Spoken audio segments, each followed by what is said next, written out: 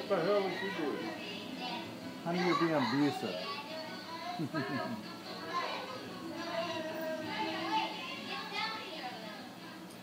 Mark, Mark.